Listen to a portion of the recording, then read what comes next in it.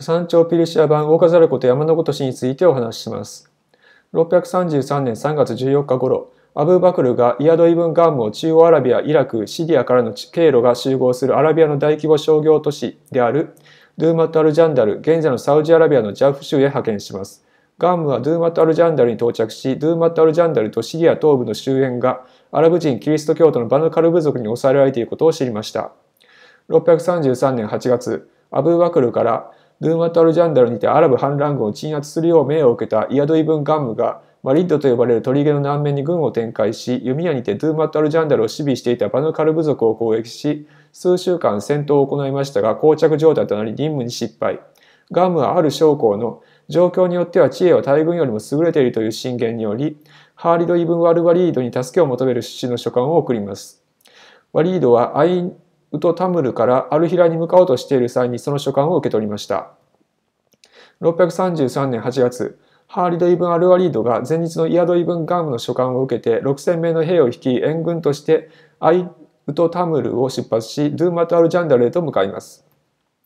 633年8月25日頃、ハーリド・イブン・アルワリードがドゥーマト・アルジャンダルに到着しイアド・イブン・ガムと合流します。しかし、ワリードの軍の行動はドゥーマット・アルジャンダルを守備していたアラブ反乱軍に何日も前から把握されていました。ガームの軍だけなら打ち払うことができるが、ワリードの軍が加われば持ちこたえられないと考え、近隣の部族に急使を送り、援軍を要請しました。結果、ガッサン族、カルブ族などのいくつかの部族が駆けつけ、砦の守備につきました。ワリードはガームを指揮下に置き、砦の周囲を抑え、アラビア、イラク、ヨルダンへとつながるルートを遮断して、アラブ反乱軍を包囲し、敵が攻撃を仕掛けてくるのを待ちました。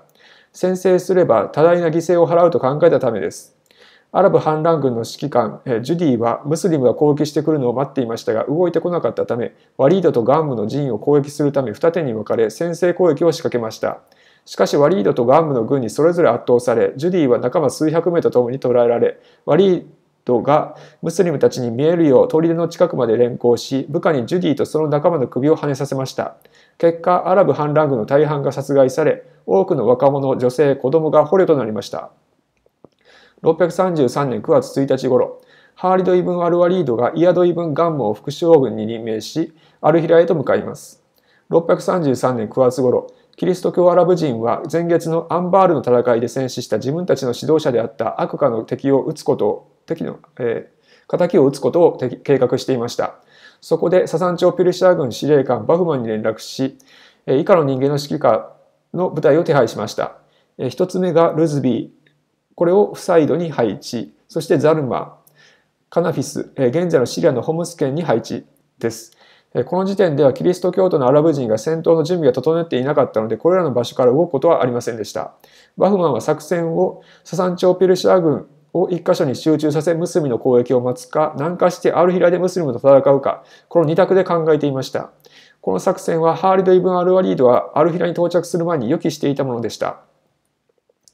633年9月頃、ハーリド・イブン・アルリードがアルヒラに到着し、ムスリムを二手に分け、カーカ、アル・バララとアル・キアラ、指揮官はイスマ・イブン・アブダラの西段からなる。そしてアブ・ライラ、ワリードはこれらの部隊、アブライラの、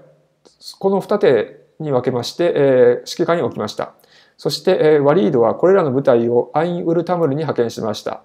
その後、前月のドゥーマとアルジャンダルの戦いに参戦した休息中の兵が合流することとなりました。